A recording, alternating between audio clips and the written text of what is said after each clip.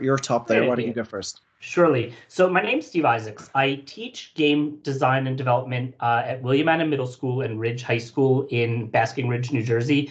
Um, I've been teaching for, I don't know, some ridiculous amount of years, like 27 or 28 years.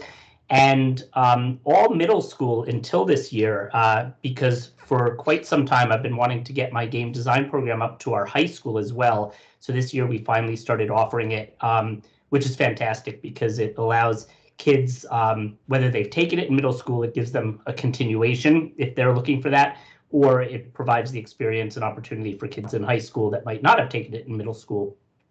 Um, I I love sea turtles. um, we've we've made a wonderful habit of uh, of going to Hawaii um, for many summers over the past uh, you know 15 years or whatnot. And my favorite thing in the world to do is to snorkel and when I can find myself stumbling upon a real live, you know, sea turtle, especially when it's not like where there are a million sea turtles, but just me and a turtle swimming around. It's uh, probably one of my greatest joys in life. Um, it's funny when we were setting this up, uh, Simon put on his screen that he had taught in China, and uh, it just so happens that I have also taught in China. Um, we both happen to have uh, come across and worked for the same organization, uh, teaching like camps in China uh, to kids in a STEM academy, uh, which was an amazing experience for me. I spent two weeks there and really enjoyed the culture and being part of that. Um, and I don't know if you remember the days when we used to like be able to go out and go to places and spend time with other people, like in in large spaces and such. Well, in those days, I was uh, the lead producer for something called MineFaire, which is um, the uh, the uh, official North America Minecraft fan convention. So there we had, I mean, just all sorts of really neat. We celebrated Minecraft essentially with the Minecraft community. Um, a lot of YouTubers there. We had a learning lab where we did a lot of sessions. In fact, Simon has presented at at a couple of them, um, and uh, it's just been you know an amazing experience. I uh, yearn for the day when we can all go back and convene in similar ways and celebrate things we love together, uh, including conferences and that sort of thing. Um, and there's uh, my contact information. Uh, I am very active on Twitter. Um, I really love working with and engaging in that community and being part of the Minecraft education community and the Minecraft community at large has been really wonderful. And the people that I've met and become, you know, close with through that um, has really, you know, both nourished me as an educator and also um, helped me, you know, develop lifelong friendships and things. So feel free to reach out to me. I love to engage with people uh, and, you know, develop those friendships. There you go, okay, Simon. Steve, I'm looking at these photographs of us and then looking at the cameras and our hair. I think we've got the, the quarantine hair length is going on here, right? yeah, all of it. Uh, well, good morning. My name is Simon Vasey. I'm an instructional technology coach in Lincolnshire Prairie View School District, and that's a suburb of Chicago. And it's a small district. I work primarily with the early childhood through second grade students and teachers. So, really, my job is to help the teachers integrate technology into the classroom. Uh, I, I can team teach with them, model lessons, but I also get to work with the students as well. So, it's a dream job for me. I get to use all the fun technology tools, and work with the students and teachers. And as you can imagine, right now with with schools closed and students and teachers working from home, my job has been particularly interesting and fun and challenging and all those things. So um, I'm a Minecraft Global Mentor. I have been for a few years now, and that's been a wonderful experience. And I would reiterate what Steve just said about the, the, the close community that has grown around Minecraft on Twitter and in other places. And I've met so many amazing people, and it's opened up so many opportunities. As Steve said, I've I've been able to present a couple of times at the MineFaire. Um, thanks to Steve inviting me to join in that, and also it opened up that opportunity to uh, go spend four weeks in China this uh, last summer, and work at the at the STEM Academy there using Minecraft to teach STEM concepts with students from all different walks of life in China. That was uh, an unbelievable experience. Um, I'm also an avid board gamer, which is an amazing hobby for me. I have, if my background was turned off, you'd see about 150 board games on the shelf behind me. And uh, it's really hard to keep up with that when we're stuck at home and we have to do social distancing. But luckily, I found some great online places to play board games with my friends. So, COVID 19, you can't stop me playing board games. me neither. um, uh, there's my contact information. I'm also fairly active on Twitter, uh, Vasey103. Uh, I put my YouTube channel in there. It's really not my YouTube channel. When my students want to record things and share it with the world, I drop it onto there. And um, uh, we've got some links you can you can take a look at later with the with the YouTube in there. Uh, there's my email and LinkedIn. Okay, let's go to the next slide, shall we? We shall. Here we go. Okay, so go ahead, Steve. Ah, well, just basically what we'd like to cover um, for everybody. And, and one thing I do want to actually throw out there before we even really start is please feel free to drop questions in the chat. Um, my preference when I'm presenting is to, you know, be very open to being interrupted and to um, sort of gauge the the presentation by the questions that come in and, and provide that casual discussion oriented, you know, opportunity. So please, please, please um, don't hesitate. Um, primarily, we're going to talk about, you know, the the the, the question, what is Minecraft, um, and why Minecraft in education, and then we're going to do some uh, demoing of Minecraft in action. And like I had said before, hopefully many of you will play along, um, or you know, you're welcome, of course, just to sit back and watch. But uh, but but feel free to play along once we get to that part. Okay.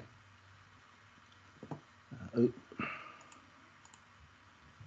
uh, so we're we're gonna kick things off and maybe get to know you a little. We have a question to ask of you, and you can drop your reply into the chat section. We were wondering what has been your go-to guilty pleasure during your stay-home time. What have you been doing to occupy yourselves or to pass the time? Go ahead and think about that for a moment and drop that into the chat, and um, we'll take a look and see what you've all been doing. I'm kind of getting bored of some of my guilty stay-home pleasures, so I'd like to learn a few different things I can be doing with my time.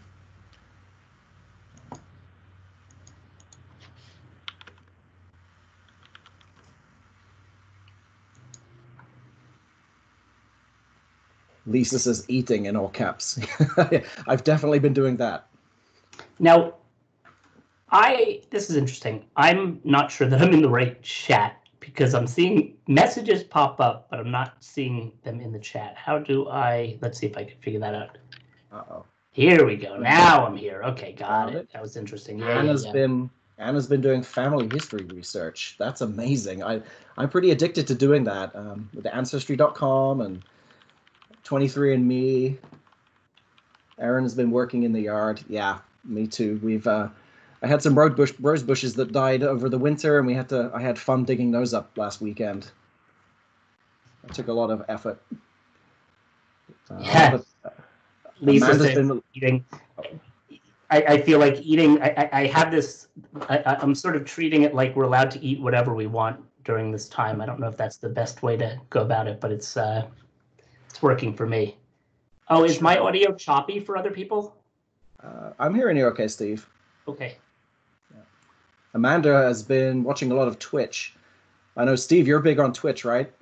I am. I've been um, streaming uh, twice a day, every day. Um, you know, Monday through Friday, 9 a.m. Eastern and and 3 p.m. Eastern, um, and that's been a really great experience because the goal there for me has been to continue offering learning opportunities for my students, but for the greater education community as well, which has been been pretty awesome.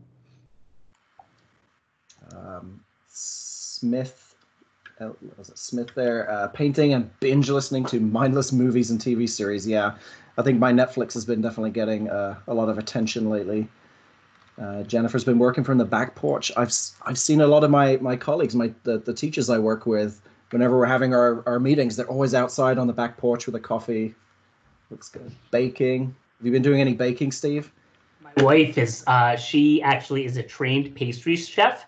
So she has been baking a lot, um, which is part of that, goes back to that eating whatever I want thing. Uh, she made an absolutely amazing focaccia a couple of times that we've been, uh, that I've eaten much more of than you're supposed to um, as well as other great stuff. We had a great apple tart the other night, um, and then you know, so that part's been nice. You know, having actually time. I think for my wife, she's that's she does that as a hobby, which we benefit from, uh, but mm-hmm. also um, the, you know, the whole having more time as a family has been really wonderful.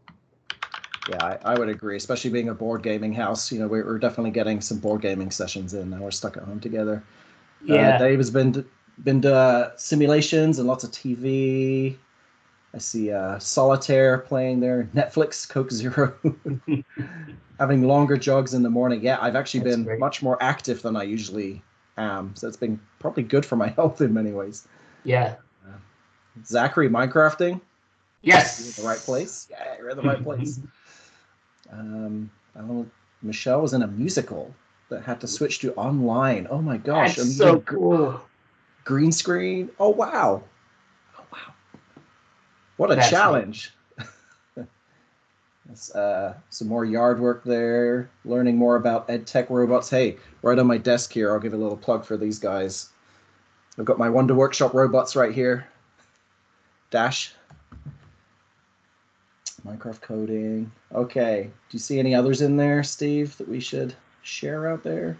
Um, it's funny. I just went back to the other. I, my screens are weird, but um, I Okay. think we can move on. But but keep Yeah, them coming. okay. It's good stuff. Yeah, yeah. It's well, it's nice to meet you all. I I think we're all Yes. kind of in the same boat. Yeah, I think we're living parallel lives.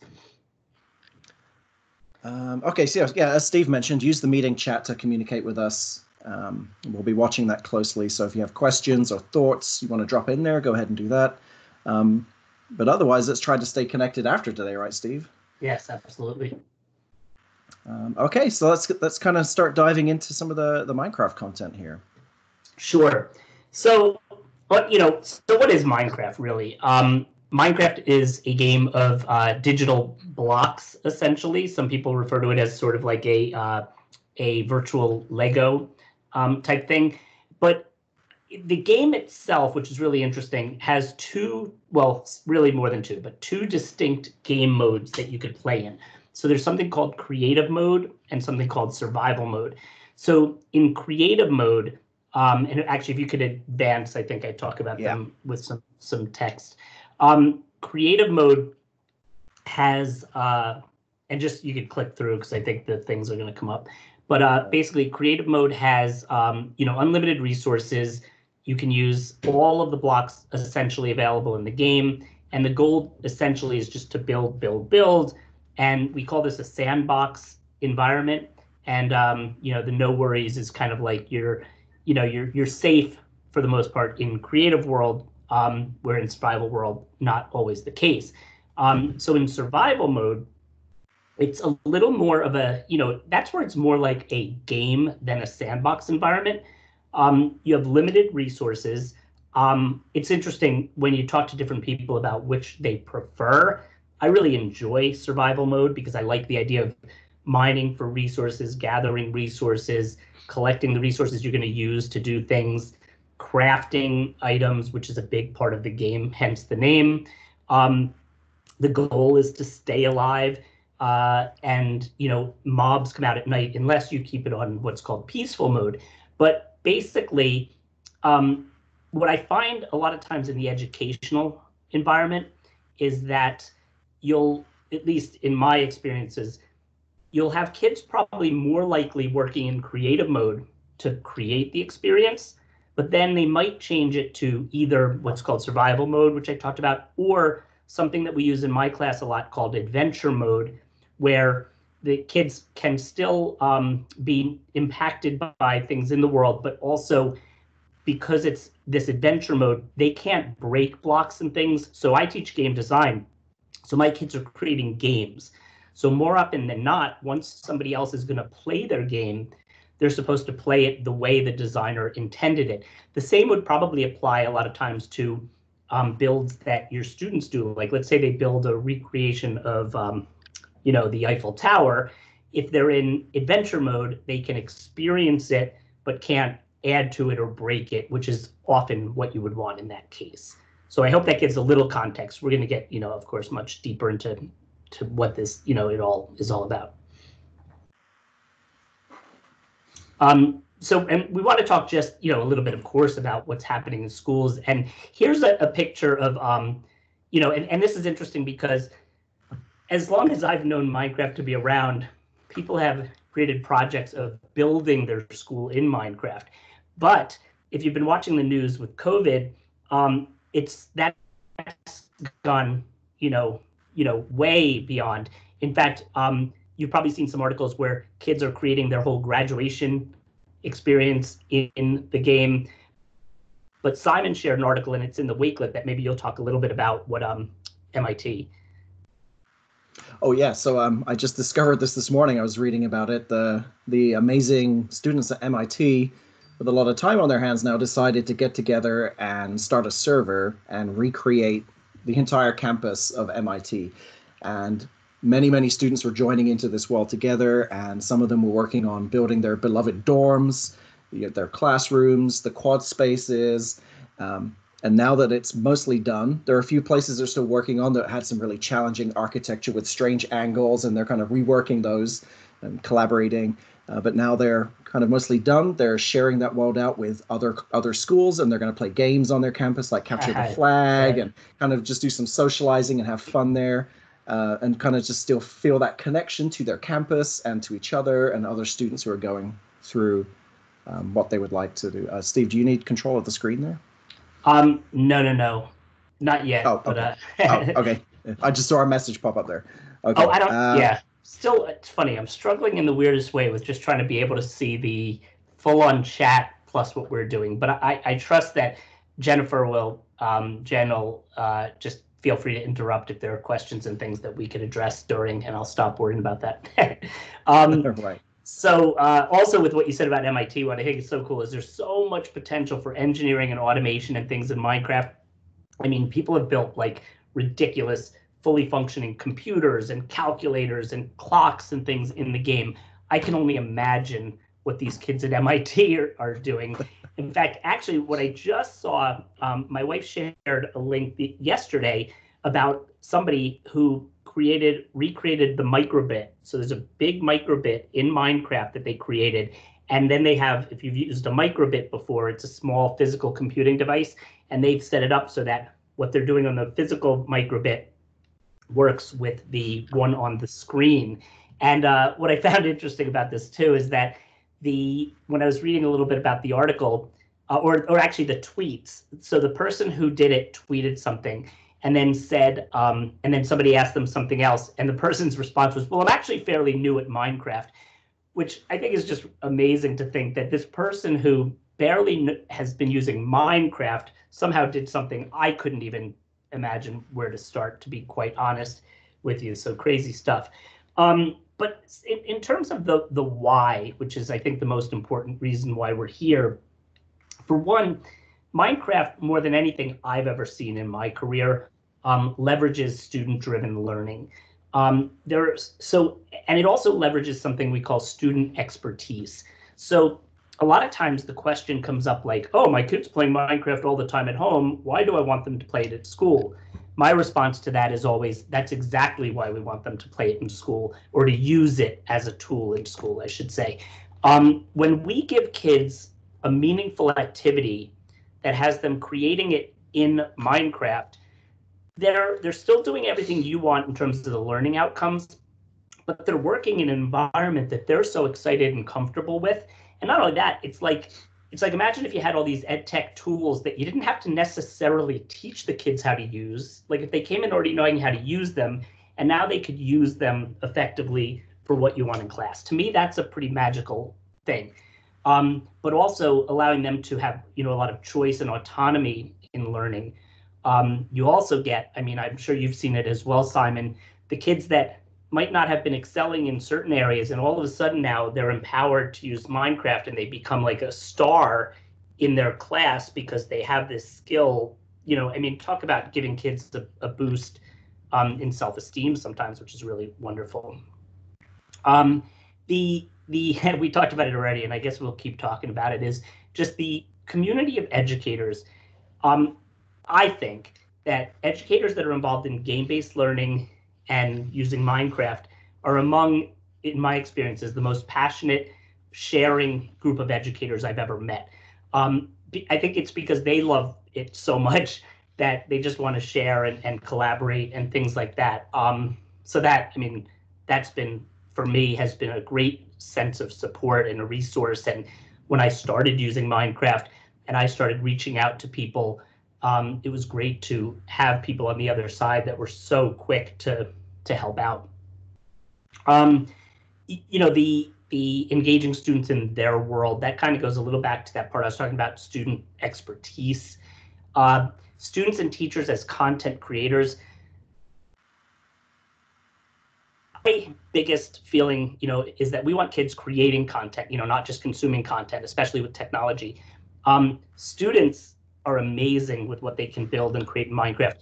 Teachers, it's interesting. Some teachers get super into it. Like I've been working a lot with Eric Leitner lately, and some of the things he's been building because he's interested and passionate, you know, that he's going to use with his group of educators and and such is remarkable.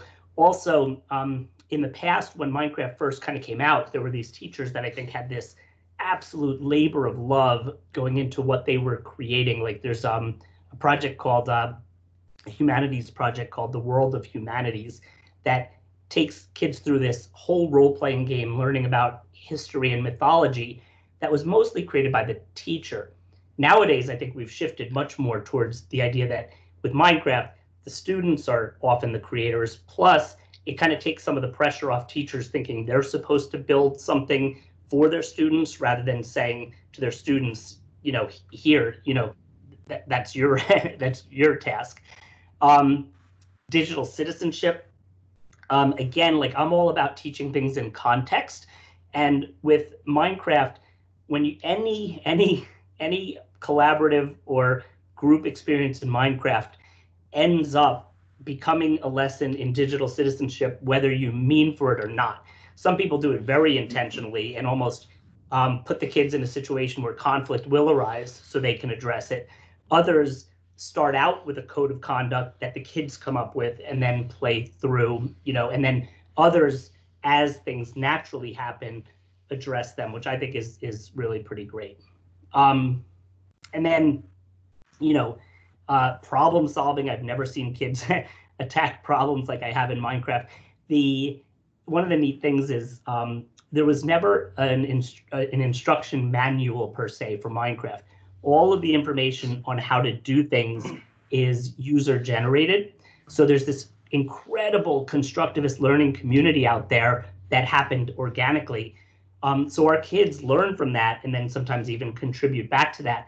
But kids that are using Minecraft see somebody else do something and get this thing like, oh, I want to do that. How am I going to do it? And they learn in a very, you know, real way, kind of like they would at home if they're motivated to learn something. And here we can have them motivated on that level in school. Um, and in terms of like cross curricular, every content area, and that's one of um, the things Simon will talk a lot about is how he's used it with his student in his curriculum areas, which is very different from from mine. And I think I've come to a point where I haven't, I can't even think of any content area that I have not seen represented in some way in a lesson in Minecraft. Steve, you did a beautiful job describing all that. And as you were talking about it, just about every one of these bullet points um, was occurring just a few days ago with my second graders when they were working on their dream house uh, building mm. challenge two teams of students, which I'll show you some pictures in a minute. But all of these things were happening in this little microcosm of just a you know an hour and a half building challenge where they were kind of socializing. so it, everything so you said awesome. is absolutely perfect. Yeah. Um, all right. So should we go on to the next slide? It looks like we've got um, some. We can probably go through these quickly. There's uh, some other sure. examples. You're there. It goes. Okay.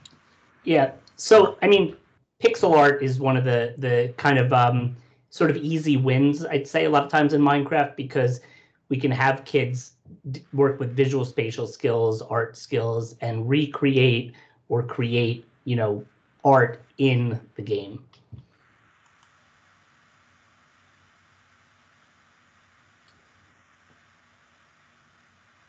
And then um, coding. Change. Yeah. Uh, yeah, with uh, so for those of you who are not aware, Minecraft Education Edition one of the things I was so excited when they launched was something called Code Builder, where you can code in um, both uh, in block-based or text-based code you can code, um, you know, anything you want to have happen in Minecraft. And it's, again, it's like this thing where we're teaching coding, but in a context that's so relevant to kids. So where they kind of understand Minecraft and what they want to do in Minecraft, and now they're attaching coding opportunities to that. It's pretty wild. We'll show a little demo of Code Builder um, during our session as well.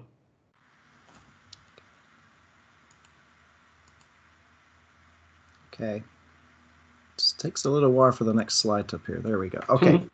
Um, so yeah, I wanted to just spend a, a, brief amount of time just sharing some of the things I've, I've worked on with my students in Minecraft. Um, in second grade, we've we've really done a lot to do with social studies. Actually, um, a lot of our social studies curriculum, when I was kind of looking at what the teachers were currently doing, it was it was pretty you know it was pretty not very inspiring. It was a lot of worksheets and, and things from books and over pretty quickly.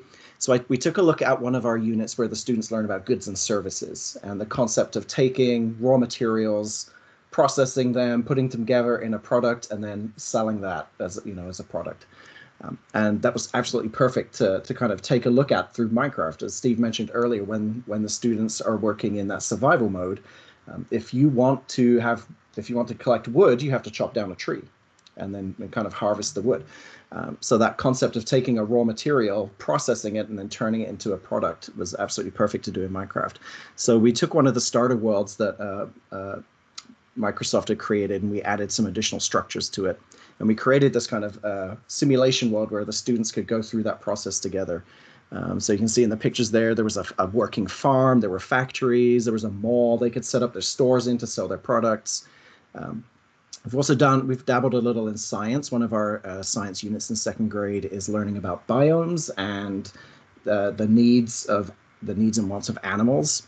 And so this some in this class here, the students uh, were responsible for setting up some different biomes and creating the biomes so that it would perfectly meet the needs of the animals that would live in that biome. Uh, and I'm not sure if Steve, if you mentioned one of the one of the amazing things about Minecraft is it has all these different biomes. If you go walking through the world, you can you wander through jungles and ocean uh, oceans and deserts, and and there are also some fantastical biomes that you would never find on planet Earth. But some of them are quite similar to to real world experience. So they're able to add uh, different kinds of animals, like in the tundra, they were able to put uh, some polar bears in there, uh, and then and in the ocean environment, there are oh my gosh, what are there? Salmon and dolphins, all these amazing animals you can uh, kind of put together there. Uh, we've also done some coding. The students uh, have a wonderful time uh, using Code Builder. And in second grade, they're really just kind of getting into that concept of what coding is, and the, the block language is absolutely perfect for them to, to play around with. And, and we'll take a look at Code Builder. Uh, it looks a little daunting at first, uh, but once you start to play around in there, you realize it's actually a whole bunch of fun and, and another big sandbox all to itself. And then finally, I have a few pictures here of, of uh, the students I worked hmm. with in China. Ah. Uh, yep. You probably recognize that classroom, Steve. Yeah. Yes, yes. um, so uh, my my job in China there was to try and connect some real world science into Minecraft, which uh, was definitely a fun challenge, and but also always based around the engineering cycle of planning, creating, testing, and improving. Um, but starting with a question and imagining how you could answer that question. So you can see there the students um, were building their gravity roller coasters. They were dropping the marbles around and trying to get it to go through one loop, two loops, three loops. And then we ended up building gravity powered roller coasters in Minecraft. Mm-hmm. And then at the end of that, we switched over to creating code that could generate uh, roller coasters for us. Uh, and you can imagine the kids were very excited every day to come into this classroom. Yes, it's awesome. and then uh, finally, I'll just share when the slide comes up. Here we go. Um, this is just very recently. I was I was uh, alluding to that um, the classroom I've been working with to give them some kind of socializing time within Minecraft. Um, I figured out how to get the kids connected into my laptop here at home. And you can see in the center picture there, all of the, the students I was working with at school are now connected virtually inside of Minecraft. And the teacher and I worked together to set up a, a simple challenge. We split the class in half and said, build a dream house where when all of this is done, you get together and have a big hangout class party. What would you want inside of these houses? And you can imagine all the amazing things they came up with. And we can take a look maybe at that world later. Uh, you can see there, there's always parkour in Minecraft, right, Steve? I think kids love doing yep. parkour. have to jump around the blocks, hot tubs, and then you'll see later one of the classes decided to build a roller coaster inside of their house and the other team looking over said, "Oh, how did you do that? What is that?" And they saw fireworks in the other team, and so we we had mm-hmm. some time where the the groups could switch over, go and explore, and then they wanted to learn how to do the things that they had seen in the other houses. So, like I think you mentioned earlier, Steve, there's always a lot of like, how do you do that? I want to learn yeah. how to do this. yeah. Um, what a great motivation they've had, to learn. Yeah, they've had an absolute blast working together and socializing and hearing each other and working.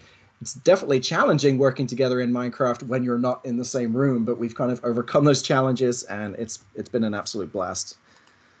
It's great. Okay. Um, I, I you know I, I dropped it in the chat I think but uh you know I want to also share because it's so similar to what Simon was just talking about we have um uh, put out uh, Eric Leitner, my wife Kathy, and I uh, have been working with NASEF, the North American Scholastic Esports Federation, and we put together a series of challenges. Um, we have six different challenges that are build challenges that are open to everybody, and it's on Flipgrid. So the kids are creating their worlds based on these different themes and then sharing them through video on Flipgrid. It's uh, flipgrid.com slash Minecraft COVID-19.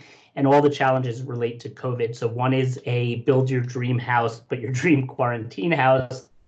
Um, one is um, actually build a model of the, uh, and you can see these if you go to the site too, a model of the coronavirus.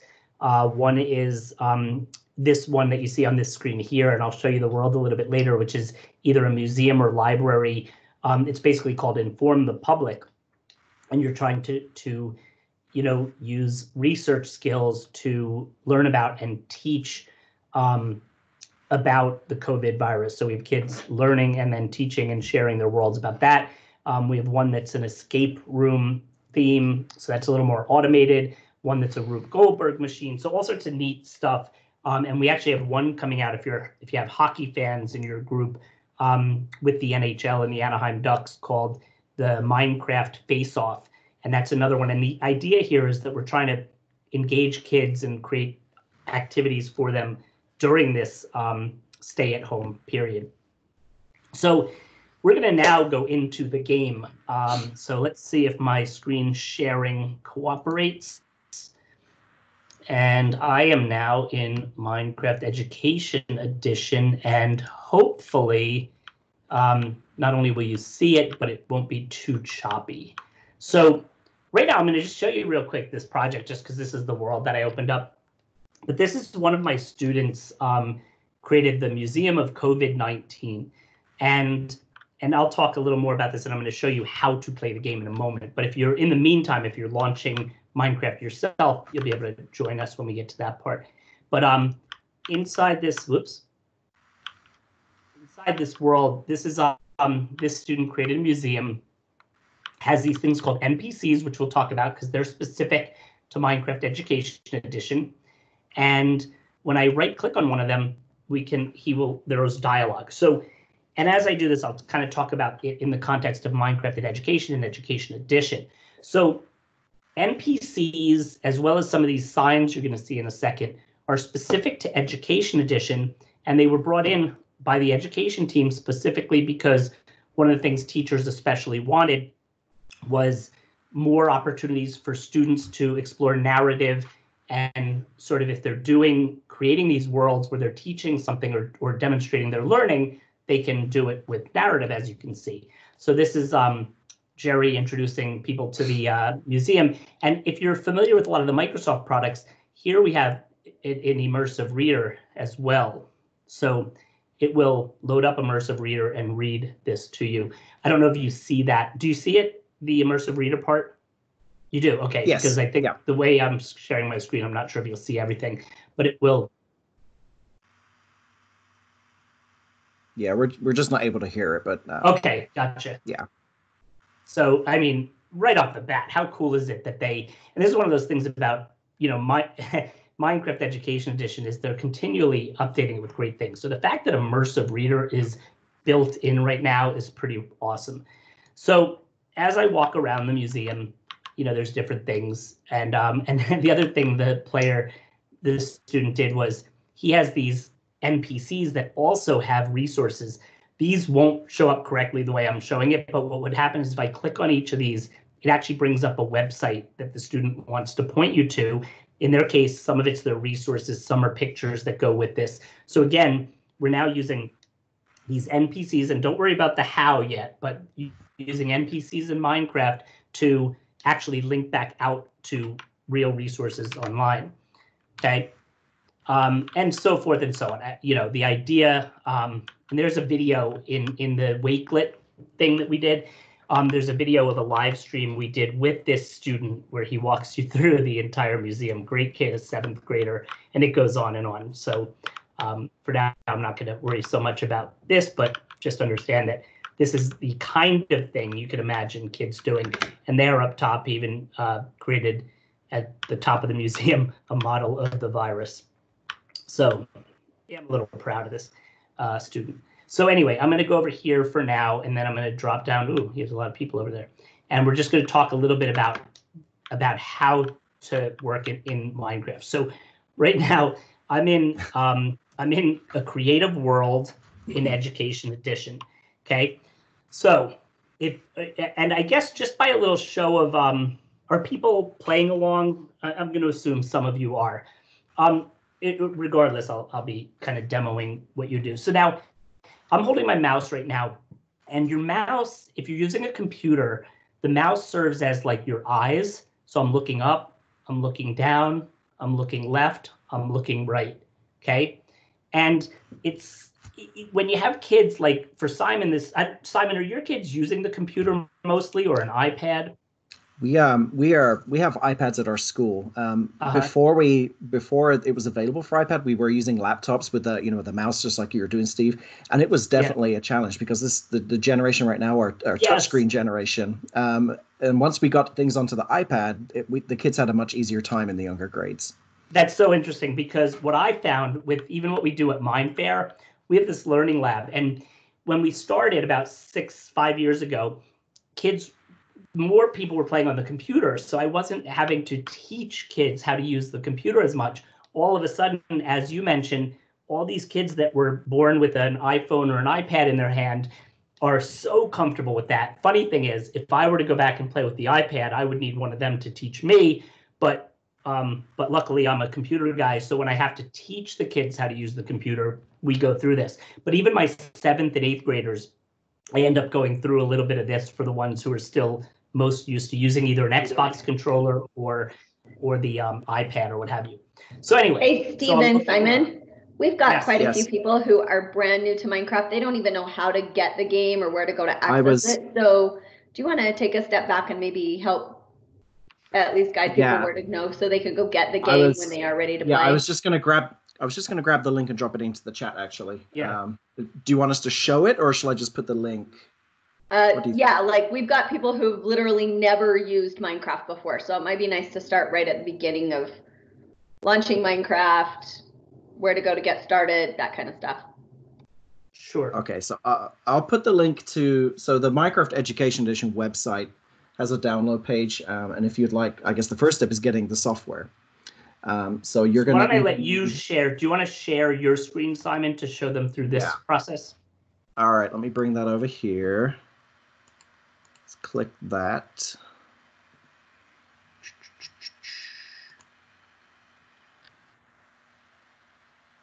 Okay, are you seeing the my website here?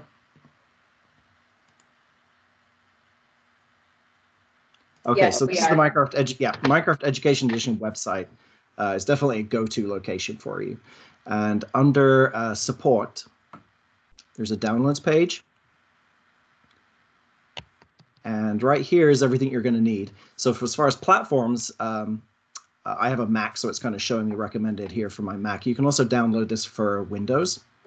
And if you have an iPad, you can download it for the iPad as well. I think somebody said, uh, asked about Chromebooks in the chat. It's not currently available for Chromebook. Um, so you choose your platform, click download, and then you would install the software. It, it, it doesn't take too long to do that from my experience. Um, so then maybe Steve, do you want to jump back into the like the start screen for Minecraft? Sure. Um, yeah. Let's see here. So let me just make sure I'm sharing it again. Oops. So uh, I'll put the link in the chat. Is the link in the chat as well, like a direct link? Where's the chat? In fact, what I'll do then too is I'll also show starting a new world anyway. So, all right. So let's go to here, save and exit. Um, thanks. So, thanks for posting that link there. Perfect. Let's see now. I'm going to even go out a step further. So when you do launch Minecraft Education Edition initially, you're gonna should come up with this. Now, um, what they did recently is they offered a demo lesson that you didn't even need to log in to try. So it made it very easy access for teachers to just launch this and have their kids do the demo coding lesson, which is good for hour of code. Um, so also Minecraft Education Edition, uh, maybe Simon had said it, is free to all all educational institutions through the end of this year because of the situation we're in. Um, and there are a number of resources. I even put a number of them in the Wakelet. So I put the Getting Started, I put the Remote Learning Guide in the Wakelet. So there are a lot of ways for you to get that information. Um, you do need an Office 365 account, which are also free. Um, you know, sometimes it does mean though getting your IT department involved in creating that and creating it for the students. But once you have that sorted out and you launch Minecraft Education Edition after installing it, I go to sign in, and it is available also on the iPad at the App Store, um, Minecraft Education Edition. So when I go to sign in, um, I'm going to sign in with my school domain.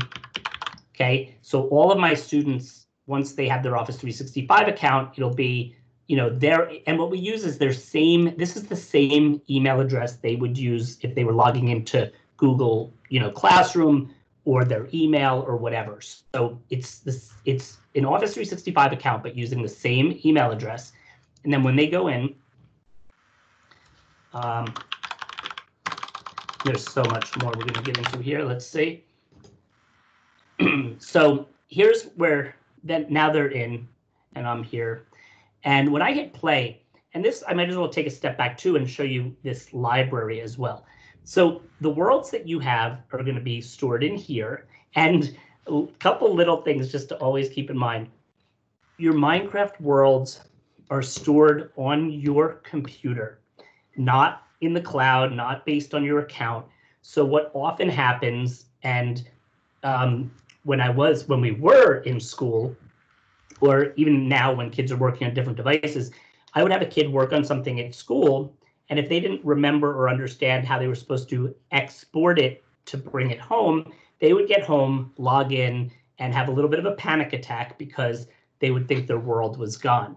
Um, so one of the things I get into fairly early with my kids is how they can export their world and all that. I don't want you to worry about that right now, especially in our situation right now. Most people are working on the same device, so it, we actually aren't so concerned. Um, but in the library area, we have a number of lessons, okay, under all different topic areas. And when you go to one of these lessons, it'll um, actually, we can navigate all the way down to a point that you can create the world. So in other words, this algebra architecture world has a starter world to go into that is set up for the activity. It gives you all the information about it here even has a link to the lesson plan and such. So that's really nice to know that when you're trying to get started and you just want ideas, you can go right here and they're populating this with, um, you know, with some of the best lessons that have been created by the community. Okay, so these are all different areas. Well, that's math, all these other content areas. Um, I mean, really amazing, great stuff. Okay.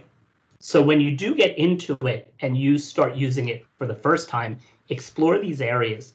The monthly build challenges are put out by the education team. So those are really helpful for ideas, especially again, when we're giving kids choice during these times, you know, that they're learning at home, it's kind of nice to sometimes be able to offer them just one of the challenges and say, even to let them choose one and then submit artifacts to you as the teacher that show what they completed. Uh, Simon was talking about biomes. So biomes are the different uh, different you know types of ecosystems, and pretty neat for teaching all sorts of different things. um, but also for what world kids might want to start in, depending on what they're doing. And then these featured worlds are worlds that they could just launch and and play right from from here. And finally, this how to play section has a number of tutorials. So when you're, you know, kind of getting yourself oriented, the Education Edition tutorial um, will guide you through everything from how to move around, how to build, how to um, break blocks, all that kind of stuff. And there are a few other ones. And then under here, there's also some coding and chemistry tutorials. Um, if you're a chemistry teacher, you'll be real excited to know that they added a whole chemistry add-on that teaches a number of chemistry concepts, but also has uh, blocks and things in the game that are specific to chemistry. Okay. I'd be happy to show that later, Steve, if we have time. Yeah, absolutely. Yeah. Mm-hmm. So now in this case, let's just say we want to create a new world. So I'm going to create a new world here and I'm going to say new. And this is the setting screen that we're going to see. Okay. I could just hit play and it'll use whatever the settings are here and it'll create a world. But in this case, let's say I want to have it be a creative world. Okay. The difficulty, peaceful essentially means there won't be any of the the the bad monsters and stuff. Easy, they will come out, but they won't be, you know, as difficult. And then it goes all the way to normal and hard. So we'll keep it peaceful for now. Um, the world type, flat is just going to be a very flat world. Depending on what um, the activity is, sometimes you might want that to say, okay, everybody start with a flat world, and then you're going to do this in that world. The infinite world has the terrain and everything. Um, there's so many other options, so many you don't have to worry about at first, but it's really neat that as kids get more advanced, the coordinates show you where your player is in the world at all times, which becomes very useful um, for some of the more advanced things you might end up doing.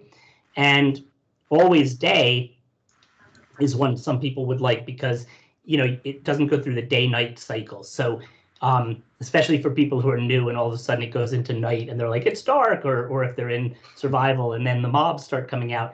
Um, so that's an option. Whenever you have the settings that you're happy with, you can basically just hit play.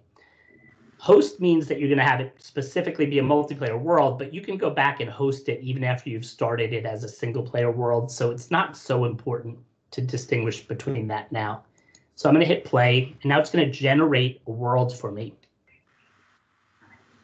And the worlds in Minecraft are huge. So as you get into it, you might start to consider things like how are we going to um, ensure that kids stay in certain areas and things. But you know, there's that. So here's a beautiful world. We've got water. We've got, seems like some sort of glacier here and such. So right now, and I want to show you again the, the movement and all that, because I was just flying around. You're probably like, how's he doing that? So, um, so remember what I said before, where you're moving around with your eyes, right? With the mouse. So if anybody's playing along, just go ahead and please do that.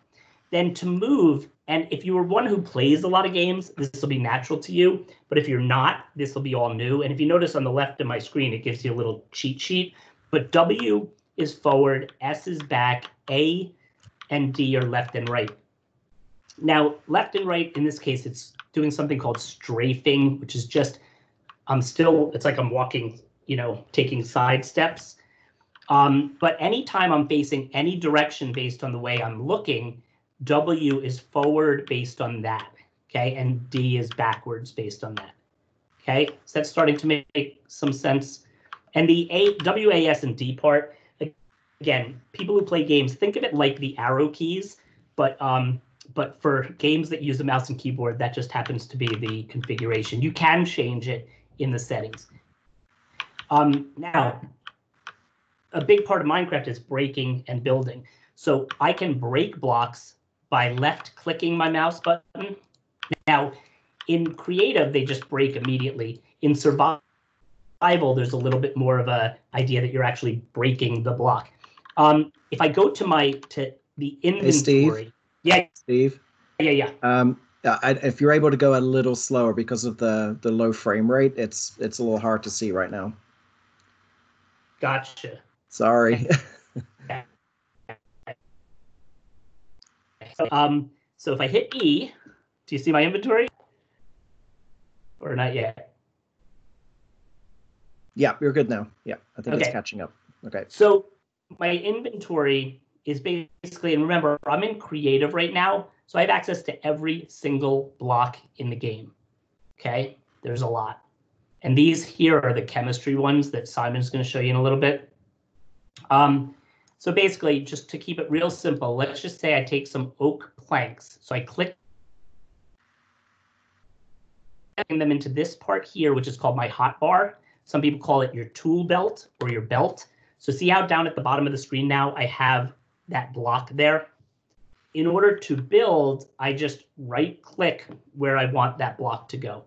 And if I'm looking at it, see how there's a crosshair on my, my computer screen?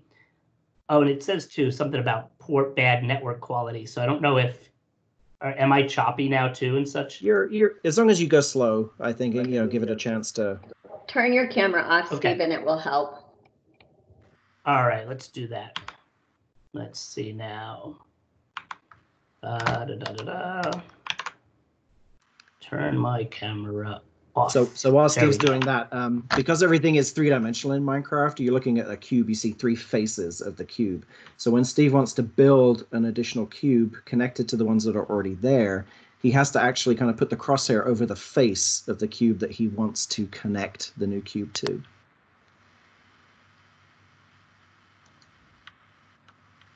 And um, interestingly, when it comes to uh, gravity, if I've built these and then I knock out the bottom, many blocks will still stay up in the air.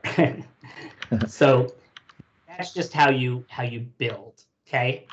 So we've got break is left click. And chop down the tree, which again, if I was doing it in survival mode, would be a different kind of process. And then right click places the blocks. And I mean, that gives you at least the basic movements and such. Okay, did I hope that made sense in terms of left WAS and D, your eyes, the mouse is used for a number of things, breaking and build and building. Okay. Yeah, so so for the people watching, when you yeah. actually try this yourself, it, it definitely doesn't feel this laggy. It, the game is very smooth. yeah. yeah, it's unfortunate that it's uh that it is slow frame rate. But um, why don't we then switch over um, uh, uh, Simon, or actually, why don't I show real quick? And again, this is not something you would necessarily use right away, but your kids um, will be pretty good with this, but I just want to show you the existence of Code Builder, and we'll see if it shows up correctly on here. But if I hit C, it brings up Code Builder, and I'm just going to show you something real basic here, and then I think Simon's going to show you some of the chemistry stuff just to show you a different idea of what is possible in Minecraft. So um, are you seeing my Code Builder as well as my yeah. screen? Okay, terrific. Yeah, Code Builder is pretty so, smooth, yeah. Oh, great. So Code Builder has this great number of tutorials and also allows you to just create a new project. I'm going to show you one of the tutorials just so you see how intuitive you know their system is for getting started. Now, when I click on a tutorial, I get the option to to follow the tutorial in block-based code, Python, or JavaScript. Um, it used to be just block-based for the tutorials, and then they added Python and JavaScript, which is really awesome. And not only that, you can toggle between these three environments. So if you're teaching coding and you want to start with blocks, but then transition kids to text-based coding, you can then have them immediately translate their blocks into Python and then continue in a Python environment or JavaScript, or you know, or you know, work in in blocks and then eventually transition to this. But the the smooth transition is is something I'm really excited about. So I'm going to go into blocks. There's my agent getting ready to start. And this is um, this is a, a popular favorite uh, tutorial. It's called Raining Chickens. And I'm going to hit OK here. And then um, I'm going to follow this tutorial. It says on chat command, rename it chicken. So for those of you who have any you know familiarity with coding, this is almost like I'm setting up a function or a subroutine. So I'm going to make it that when I type in the word chicken, something is going to happen. Okay. And now, and the nice thing about the tutorials also is that right now it's not showing me all of the code blocks that I have available. It's limiting them to the ones I need for the tutorial. So now when I go to mobs, and again, there would also be other ones here. I go to spawn, and these are the eggs that you'll see in the game too, but these are all the different animal eggs. So I'm going to stay with chicken, and it tells me um, it, it, will run the chicken in the Minecraft chat 000. Um, so this part, the squiggly for each of these means relative to where I'm standing, and that gets into the coordinates I was talking about before. Um, but think of it like your X, your Y, and your Z, and you don't see what I'm doing because I turned my camera off. But the X is like east and west, the Y is up and down, and the Z, let's say, is like the north and south coordinate plane. And I'm going to change this here to 10. Now, what I was saying is this is the X coordinate, which I'm not changing. This is the Y, which is the up and down. So I'm making it so it's going to be 10 blocks above me, and then I'm not changing the Z. So really, this chicken is going to spawn from 10 blocks above me in the sky. So then it tells me to go ahead to Minecraft and press T. And if I type in chicken down here in the chat, whoops, it right, I can now look up and here comes, you see the chicken falling from the sky onto my head? Okay. Now that's cool. All. But what I always tell kids is like, they see that and they're like, wow, that's pretty neat. I'm like, well, what would be cooler than one chicken falling from the sky? And of course, they then, you know, they go usually bigger than 100, but we'll do 100 for now. Um, so loops, which are a common concept in computer science and coding, allow you to repeat something. So if you've used Scratch or anything, I mean, they all have the repeat loop, and here it is right in, in MakeCode. So I'm going to do 100. And now I just coded this to not only spawn one chicken, but repeat that 100 times. So I'm going to go ahead now and, and go in here and type chicken. And Steve, I'm sure your students are the same, but my second graders at this point say, "Can we do a thousand? Can we do ten thousand? Yeah, exactly.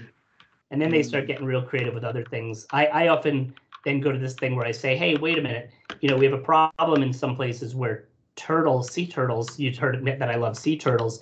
Sea turtles are on, you know, are we're, we're afraid they might go extinct. So I go and do this. That's a parrot. Let's see where the sea turtle is. Sea turtle. Here.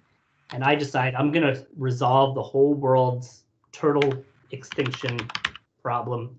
And it's still typing chicken because I never changed what the text would say. But now I have 100 sea turtles safely falling into the water to help alleviate that issue.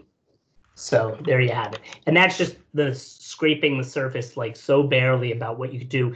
What's neat is with code in Minecraft, Minecraft has all these commands that are built in that kids know a lot about. Any of those commands that they could use in the game, they can then also use in Code Builder with the block-based coding. So I'm going to um, stop my screen sharing now and hand it over to Simon. Does that sound good? Sure. Okay. Okay. Um, at this at this point, do we need to pause for anything or answer any questions? Or I, I know there's been a few questions. Well, maybe while I just yeah, queue up the world here. Let's see. All right. Just while I kind of get my screen up and running here. I, I tried to answer a few there. Ah, good question. So there was one from Amanda um, about if there's a benefit between using MakeCode or Tynker. Um, Tynker is wonderful as well. I, I, would say a lot of times it comes down to which environment you're, you know, more comfortable or used to. Um, I've I love Tynker. I've also grown to really love MakeCode and the thing about MakeCode is that MakeCode is like Microsoft's coding platform. So, and they use it with a lot of other physical um, computing environments. So, like the microbit, you can code in MakeCode. The circuit playground, MakeCode Arcade came out recently. So um, so that's why I personally have been leaning a little towards MakeCode because I use it in these other different environments. Um, and yeah, and Simon said they're both accessible. You know, they are. They are both wonderful. Uh, yeah, we use Tynker at our school, but I honestly I, I prefer MakeCode. I think.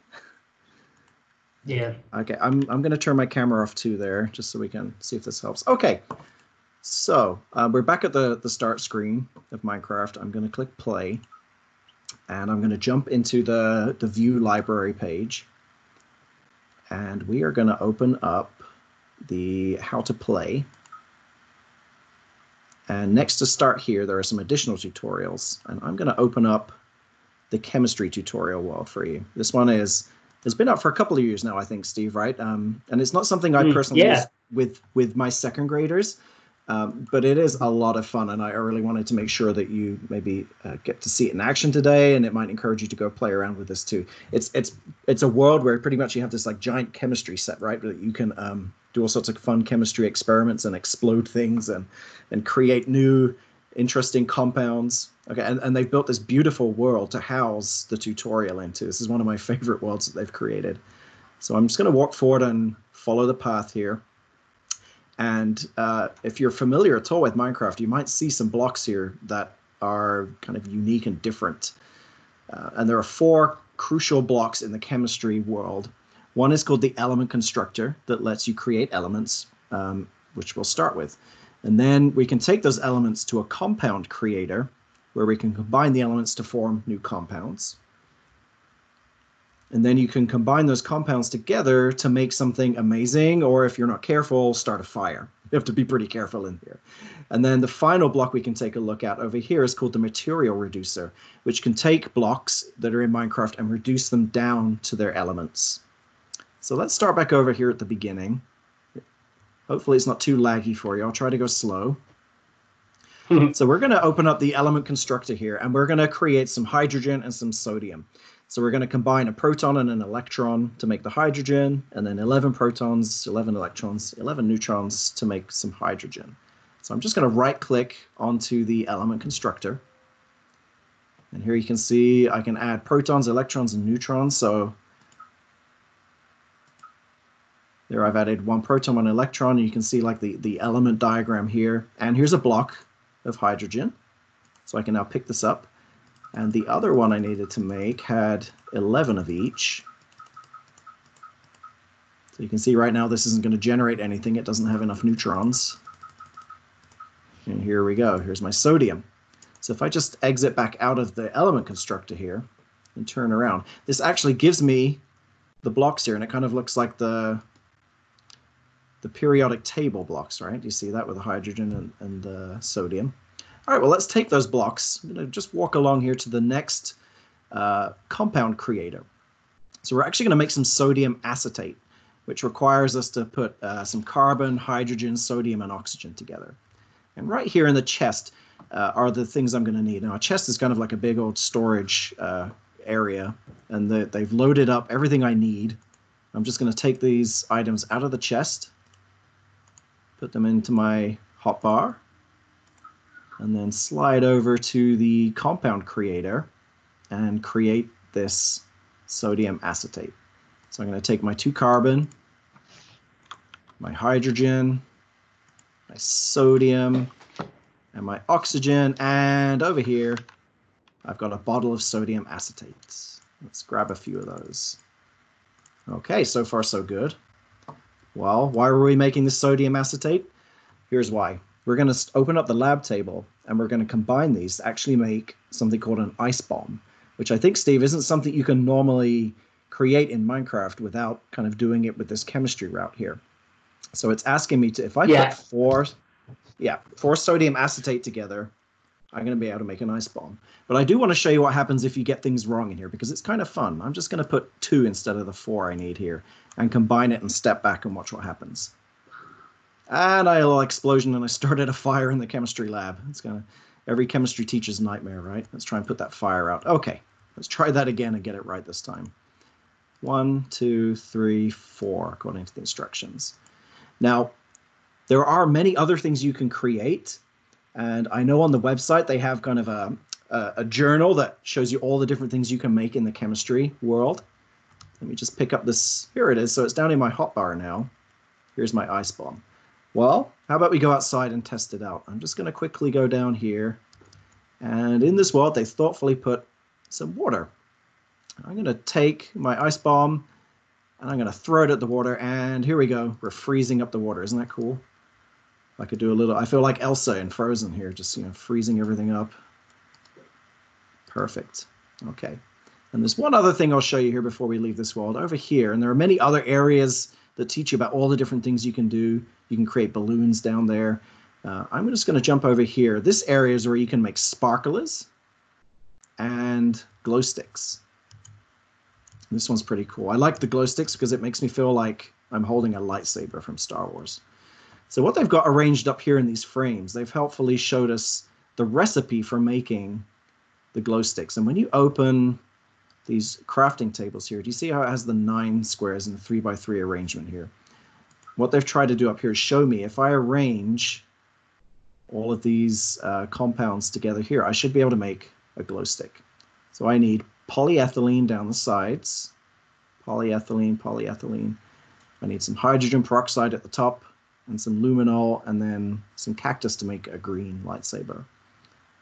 Okay, so just one more time, polyethylene, hydrogen peroxide. Okay, so let's go in the chest. There's my polyethylene, my luminol, which was going to go at the bottom, and some hydrogen peroxide. And I think I'm actually going to make a red lightsaber. Okay, so let's go into the crafting table. So I'm just copying that recipe that you saw up on the wall. The hydrogen peroxide was at the top, I think, and the luminol was at the bottom. Oh, lagging a little bit there. No, don't stop now. Okay. And I put the dye, and here we go. We made a red glow stick. Okay, let's put that down in my hotbar here, and we're going to hold it. But of course, we want it to be nighttime. And they put a handy dandy switch here. I can turn this and instantly turn it to nighttime. And if I press my F5 key, now you can kind of see me in third person. I'm going to hold down and I'm going to shake that glow stick to get it lit up. And here you go. I made my beautiful red glow stick, and I feel just like Darth Vader now. You know, the kids have a lot of fun making the glow sticks. So that's kind of a little glimpse at the chemistry world. It's uh, I was so excited when they released this, and I have a lot of fun in this world. Hopefully, you uh, got to see that without too much lag.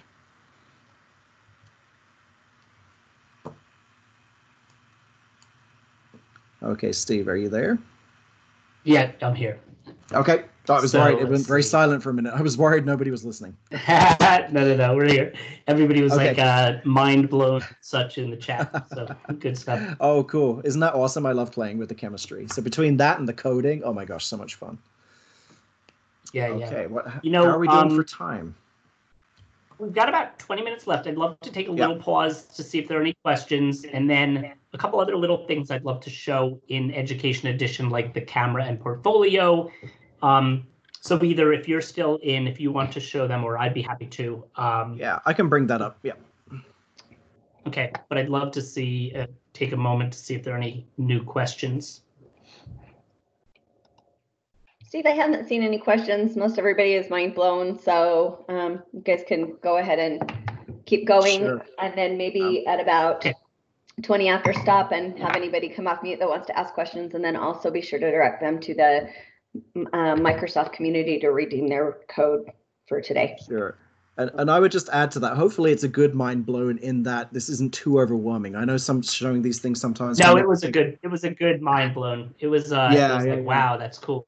Um, um, I think it's oh, you know, and that's a good point to reinforce is that we're trying to show you a little bit of what's possible. There's so much, I mean, so much uh, potential here, but but but nobody has to feel like they're supposed to start in the deep end. Um, you know, we all started very simply by learning how to walk around, place blocks, and all that. So the best thing you could ever do is get into the game, play a little, reach out to people for for more support and things. Um, because the the chemistry stuff and the coding stuff probably wouldn't be the first thing that you do.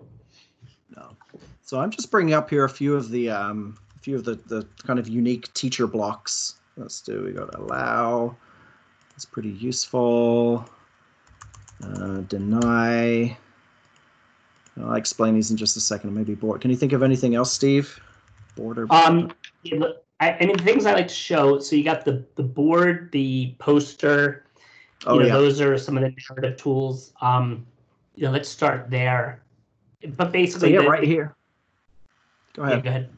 I was just gonna say the camera is such a neat thing that they built in specifically into the education edition because um, for as an assessment tool, a lot of times what you could do is you don't have to necessarily get into the kids' world to check the work they did.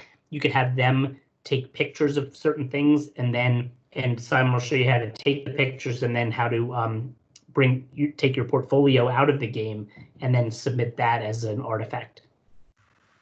All right, so yeah, I've got the camera tool right now, and I, I see this sheep eagerly trying to get mm-hmm. into this uh, challenge world. So I'm going to actually put the camera down. You can place the camera down in front of you, and it's like one of those old-fashioned uh, cameras that you know, like from the 1900s. If you right-click on it, it's going to count down and snap a picture, and hopefully that sheep is still behind me. Oh, he's kind of photobombing me a bit there. time. Come on. Smile, sheep. There he is. There okay, that was a good sheep. a good picture. Now the other thing you can do, you can walk around with the camera and just hold it in your hand, and like I can point down at the chicken here and right click. Oh, geez, not right click. What am I doing wrong? It's because I'm pointing at the well, ground. No, you're right.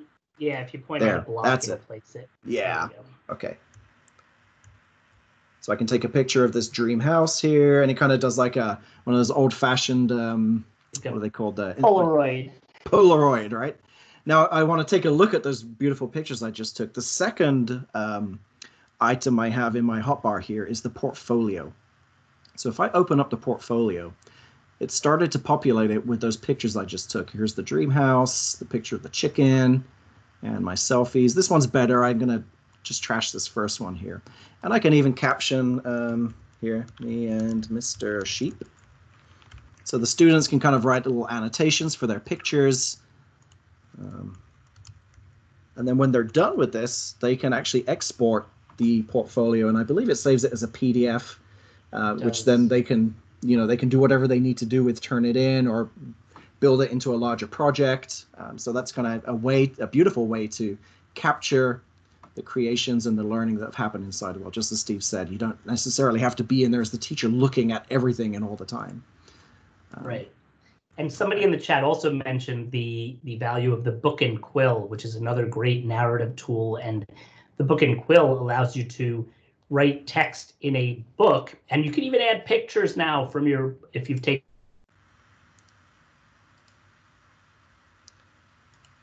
That's right. Yeah, here's the book and quill, so I can um, The book and quill is awesome. Yep, you can click edit here and you can add in those pictures that you've already taken within the world. Uh, Steve, we lost your audio there for a second, so sorry if I yeah. started talking no, over you there. Please, I'm glad you did. okay, um, and then when we sign the book, it kind of uh, publishes it, right? And we can we can give it a title and sign and close. And now we can leave this book for other people to read. We can open it and turn the pages just like a, a real book. So I've had students in my summer school class. Uh, one of the groups created um, a summer camp and they found an area that was kind of this haunted area and they wrote this haunted scary story to make the spooky area more realistic and fun so students can get really really creative with their with their literacy uh, by using the book and code thanks for mentioning that one um, the other one that Steve mentioned, which is is very useful, this kind of goes along with the NPCs for me, which are the um, the, the the boards and the posters. These are signs that you can place around the world, and and uh, teachers a lot of times use these to kind of give direction to students, or if it's a student creating a project, it might be showing their learning. Lots of different ways to use these. Um, and the students that didn't create the board, right, Steve, they're not able to kind of break and damage these, right? Um, it depends what mode you're in, I think. But uh, if you're a, that's an interesting thing too. Depending on the permissions in the world, that would have something to do with, I think, whether you can edit somebody else's as well. Right. So that's a board. There's also a poster. It's a little bit smaller. Um, you can see you can kind of place these around the world. um, like this one here was just kind of the the overview of what the students were going to do in this challenge, kind of the, the criteria for what they had to do. Um, and then these red border blocks, we actually used these to keep the two teams separate for a while, Steve. Um, we yeah. didn't want the uh, we didn't want yellow team running over all the time to red team's area, potentially accidentally on purpose damaging anything or right. Uh, you know, um, so we kind of kept them separate for a while, and then once they were done. Mm-hmm we opened up a few holes in there and then let them kind of commingle and go and explore each other's houses. Oh, that's great. Um, and you can yeah. see this was the first, yeah, the first roller coaster, and then they all decided they wanted mm. a roller coaster too. So awesome. But that's the thing, you're right. So it's like um, there are some, and look at what what what Simon has in there too, which gets to something else that we would, you know, that is nothing we'll get into quite today, but Redstone, which is the like elect electricity in Minecraft that you could you could place redstone and connect it from an input to an output and actually make things happen automatically. And then there are things called command blocks, which I just love because my kids use them to automate things in their games. I mean, just so much amazing potential. And again, the kids often know a lot of this. And if, if, if Minecraft, the one thing Minecraft taught me that completely transformed my approach to teaching and learning was that I could let go of some of that control of thinking that I was the keeper of the knowledge.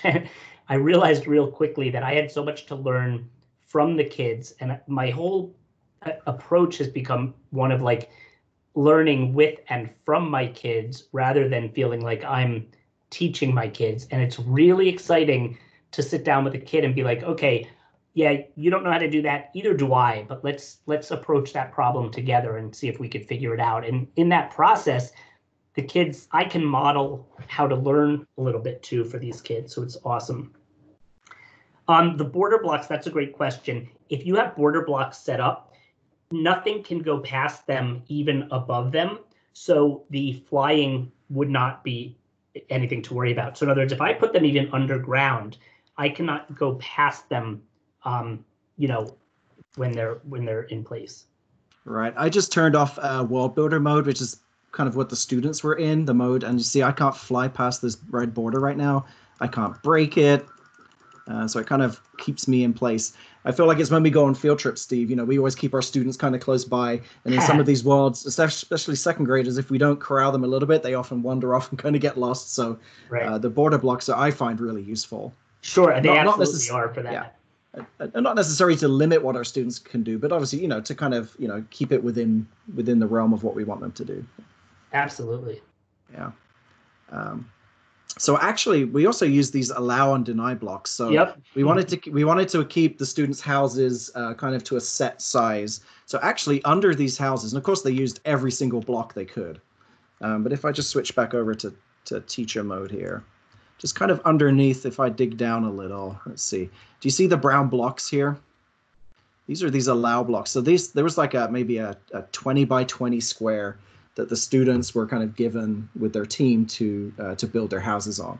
And anything outside of that um, 20 by 20 area, they weren't able to build on initially. So it just kind of helped to contain it a little, and then just to give it a, an even an even field for the for the challenge. You know, so both teams kind of had the same size of space to build in. And as you can see, they used every every block they possibly could. yeah. And um, so it is, it's a little after 120. Um, let's, like Jen said, let's take an opportunity. I'd love for people to come off of mute and even join and ask questions. Um, I do want to remind you that the Wakelet that we we um, put out there includes some samples of like Simon's YouTube channel as well as my class YouTube channel. I have a lot of tutorials there that I've created. Um, some of them are from my live streams that we've been doing during COVID, where we've taught a Minecraft skill and then posted the recording. I have a lot of student projects um, shared there. So please, um, you know, grab that resource and and and take some time to, you know, over a big cup of coffee to to look through some of the things that we've shared there. Just some really neat stuff. I I love sharing the great work my students do. now for questions, please, please, please. So um, Simon and Steve. I appreciate you guys doing this because I'm brand new to Minecraft and now I'm going down that rabbit hole. So I'm excited. um, as an instructional coach, I want to know like, how do you get all of the students in one world? Is there a way like for you uh, to show us that? Because I'm not quite sure how that would work. Yeah. Um, so do you want me to show that, Simon? Or I mean, at least yeah, go ahead. Theory, how you would do it. so sure. I'm going to go into my Minecraft world now. So in Minecraft now, if so, if I'm in the world, remember before I mentioned that you could either host a world or you can um, just start playing it and then later invite people into it. If I hit escape, this little nifty icon with a bunch of people happily being together, that allows them to to play together in theory. If I click start hosting, now what it's going to do is it's going to come up with a code. And this code is something that students on their side would be able to type it or put in like apple, apple, balloon, fish. Now, a couple of things about that. One is um, they've done a whole lot to improve this. It used to be a lot, lot more challenging to join remotely. It still has its challenges sometimes because of firewall issues and stuff. In school, it, it almost always works beautifully and you just yeah. join right in together. From home, I've had some wonderful experiences playing with kids and, and having other people be able to join each other. And then sometimes it it it doesn't work. Um, but anyway, but this is the the way that you would do that. Um, so you know, so there's that. So the the join code. So like I said, I've been playing a lot with my nephews. Oh, the other thing I wanted to point out is that you have to be in the same domain because of privacy issues and things with Education Edition. So if Simon students, as much as I would love to have a project where I had my kids work with Simon's students, in Education Edition, we couldn't do that because he's on his school domain and I'm on my school domain, which means how your Office 365, you know, like is set up. Like only people that use you know that are in my school district can play with other kids in my, my school district and the same applies for like simon. So um, that's I, I personally would love to figure out a way that or have the education team um, have a way for us to work with other classes because I think collaborating across classes is very valuable. But for now, that's not something you can do. Yeah, and I'll drop into the chat. There is um, there's a how to set up a multiplayer game guide that was very useful for me. I had to work through that to overcome some of the issues I was having before I was able to actually get my second grade uh, teacher and her class working together. Um, but as, as Steve said, it, it you know there it's not insurmountable, but you definitely have to kind of know a little bit about your kind of home network and, and getting that tweaked so that it allows yeah. that connection. And Simon, put that put that resource in the Wakelet. Yes. Even Simon, we had uh, one person ask if you can explain how students export worlds yes. for those using shared devices. Can I show that as well? Um, I'm still sharing my screen, I believe, right? Yes, yes, so, we're good to go. Okay, so I have ended up coming up with like this whole process at the end of my class every day where I go, where I teach this and then remind the kids every day. So basically, I'm in my world right now but I have to first save and exit before I can export my world. So I'm going to save and exit out of this world. That's going to bring me back to my view my worlds and all this. When I click view my worlds, this was the world I was just working on. If I click on it, I have options. I can play, host, which is that multiplayer thing, or go to settings. I'm going to click on settings. And these were a lot of the settings that I started my game with, if you remember. But on this right side here, if I scroll all the way down, there's this button for export world. Now, when I click on that, I can, do you see my, my Windows screen here as well? Because I'm not sure if you are because I was sharing my. Yeah, we, we okay. see it.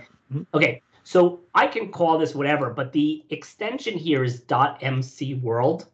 So here's, if you look, I have a lot of these usually. Um, this is one of my students' projects, but um, I, so I'm going to just save this as, um, you know, uh, I uh, inspire world MC world. Now I can save this. Now that's just now what they did, which was really nice with this, um, is that as far as you or I are concerned, that's one file with this MC World extension.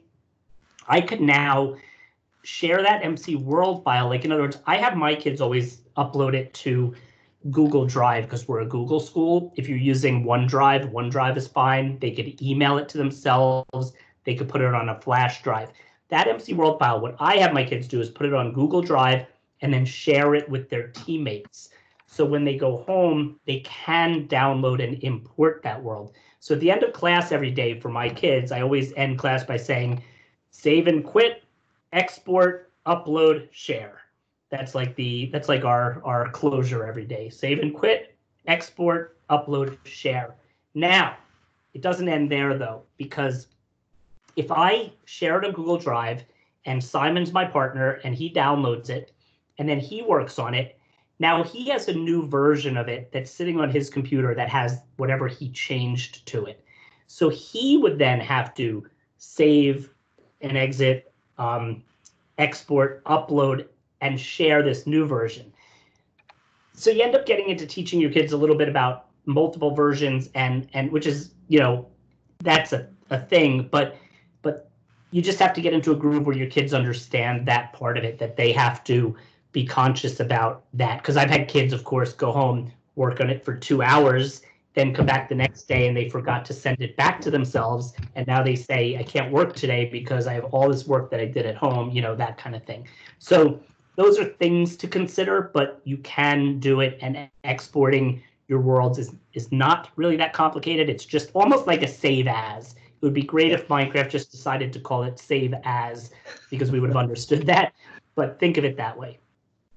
And uh, I was just working with uh, the middle school enrichment teacher. He wanted to do uh, share out a world that involved teaching about logic gates with his students. He he didn't want to have them all working in, in the same world together, but he did want to have that experience of using Minecraft as part of a distance learning enrichment opportunity. Mm-hmm. So he we just did this exact thing you've just done, Steve. We created the world together, set it up just perfectly for a student to work in, exported it, and then he shared it out uh, with, or he will be sharing it out with his students uh, next week for them to work in. And they're going to use the camera tool to kind of take pictures. And on their iPad, they're also going to screen record some short videos uh, of you know how they've of their learning experience with learning about logic gates in this in this world. So, perfect.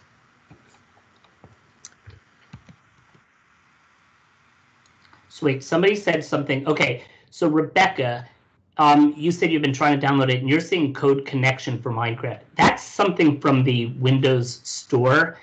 Um, the best, my favorite way to download Education Edition is aka.ms slash download. I'm going to put that in the chat. Um, that takes you right to the download screen for Education Edition. I'm not sure if you were looking somewhere else. Hey Steve, um, it's it's Haynes, Rebecca. Um, quick question. Yes, I did that. So I had went to some training years back with Minecraft. This is like they had the old version. So okay. they said, you know what, download it, but then um, Minecraft actually updated it, so then I had to reinstall it. So um, I have a question for you. Is it possible I can share out my screen because I've been trying to do this the entire meeting? So I can sure. show you what I'm. I mean, as long as it'll let you, it's fine with me. Let's see. Hey guys, since we're right at time, if you could very quickly just take everybody to the educator center and have them redeem their code, and then anybody who needs to drop off. Um, because we're at time, then they can drop off, and anybody who needs to stay on okay. can stay on and ask questions and share screens I will and all that kind of share. Stuff. I'll share that uh, the uh, the PowerPoint back up, Steve. Just a second. Does that have our link at the end for the um? Yes. They need okay. And maybe I, just I just pasted it in the chat window again.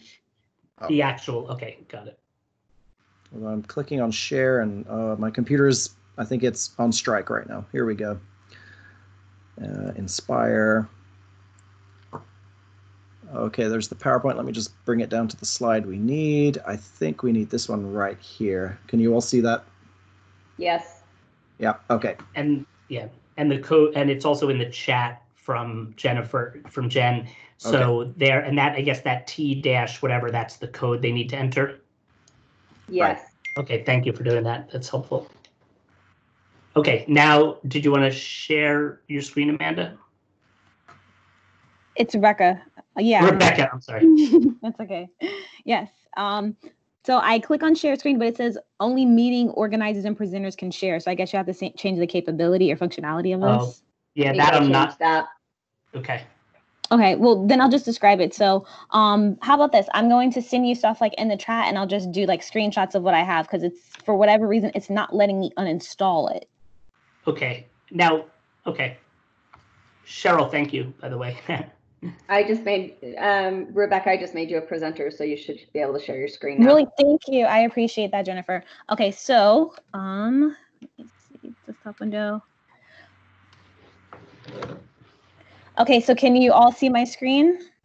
Uh, I think we'll be able to. Yep, I see okay. myself on your screen. Cool. So then what I do is I went over to here just to see my Minecraft because I know I had like an older version. Um, and then when I had went to code connection to uninstall it, because this is from years back, then I get this, you know, window or dialog box, and then it just has all my programs, but I don't see anything from Code Connect. It's down there. It's down there I under s- class I notebook. see it there. Okay, all right. Yeah. So let me see. That's Let's it. try to uninstall it again.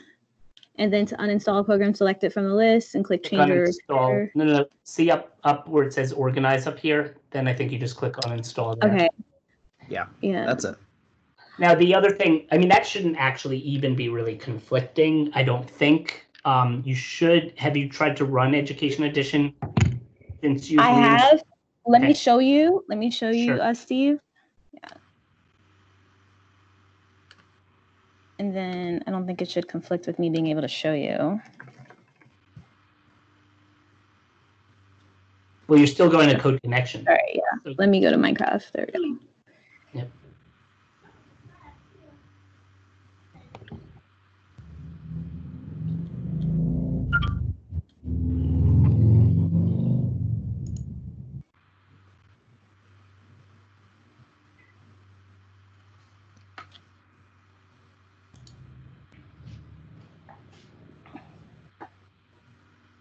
And our school is Broward County, so we have the Microsoft 365. I'm actually signed into like my Microsoft account, and then this is what I get. Hold on, maybe it'll fix it. So you're a Broward County person. Yes. Okay. I'm a All big right. So fan of Eric and everybody over there. okay. Wait. Say that again. I couldn't hear you. I said I'm a big fan of Eric Leitner. Yes, I can. I can there. see. Yeah, he's fantastic. Okay, so th- it wasn't doing this before. Um, I tried to uninstall the code, whatever connect. So let Mhm. me just do this now. Let's see if it'll fix it. And then because it's uh, free right now, it should hopefully pick up a free license from Oh, they've got right. they've got licenses in Broward County. They've got nothing. Oh, over- okay. Not to right, perfect.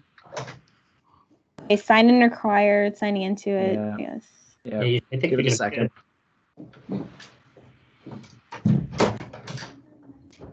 Okay, welcome to the latest release of Minecraft. Okay, learn more. That's okay. There you go. You're in. Okay, and then how do I get to like let's say I have students because they've been asking me about it.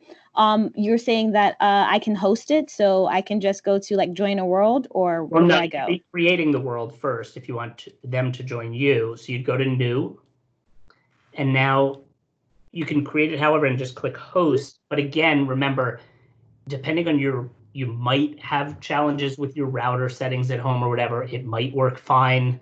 Um, but those are some of those are going to be beyond our ability to help you if, if it um, becomes a challenge. Got you. One of my one of my one of my issues, Steve. Actually, uh, all of our students' iPads go through our school filter even while they're at home. So I had to actually get my IP address um, kind of whitelisted. Oh gosh.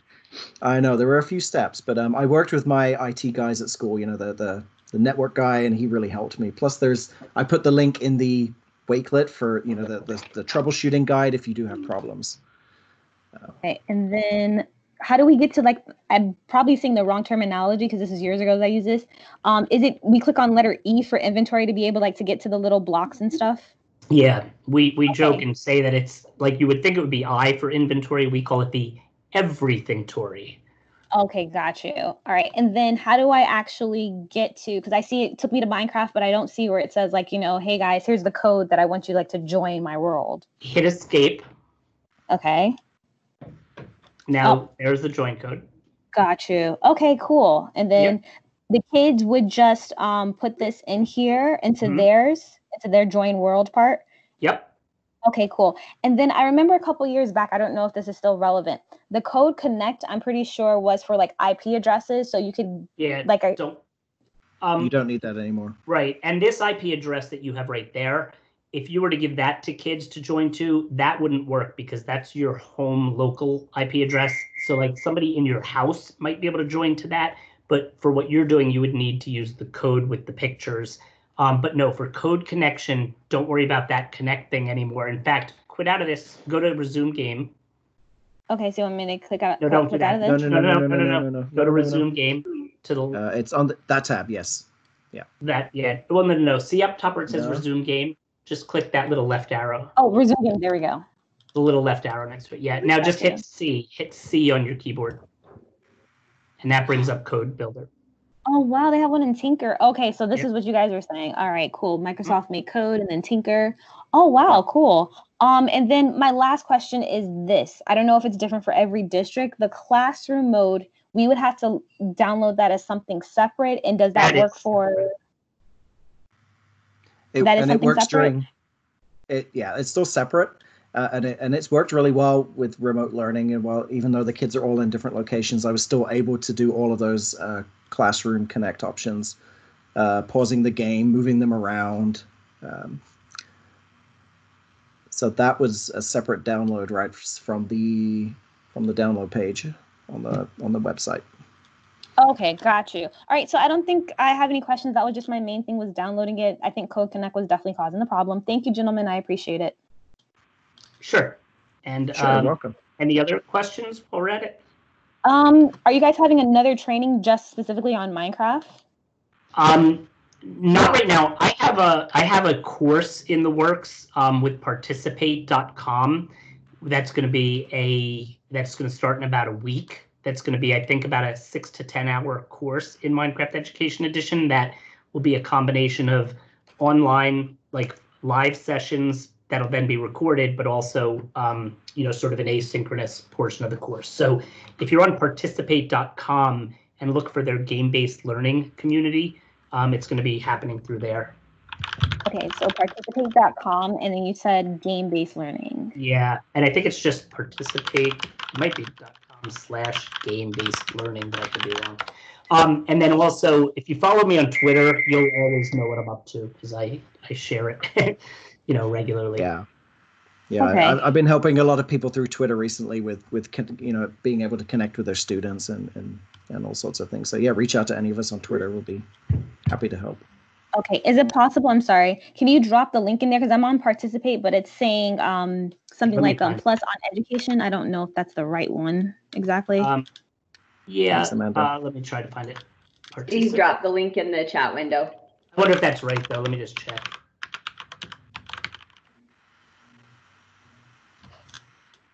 Nope. Um, gosh darn it. It always does this to me. Let me, yeah, let me log in and I'll, um, I'll find you the right link. And then I'll drop it in the chat. okay, thank you. Mhm. All right, we're, we're at time, you guys. We want to thank everybody for joining us today. Um, thank you for staying on. Um, you know, feel free to connect with these guys through um, any online resources, um, Twitter, um, any social media, but we appreciate you joining us today. And um, we should be sending out a follow-up email after this conference. Um, so thank you and keep an eye out for that. Have a great day. Yeah. And Rebecca, send me a note through either Twitter or email or something and I'll get you that link. Thanks everybody. Thank you, Steve. Thank you, everybody. Good job. Thanks. You too. Thanks.